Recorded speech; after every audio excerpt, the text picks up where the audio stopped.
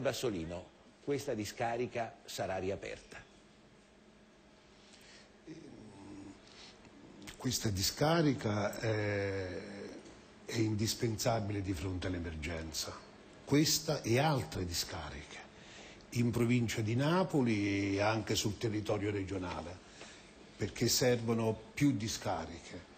Quella di pianura può essere utile alla città di Napoli, a Pozzoli, a comuni esattamente vicini, ma soprattutto alla città di Napoli.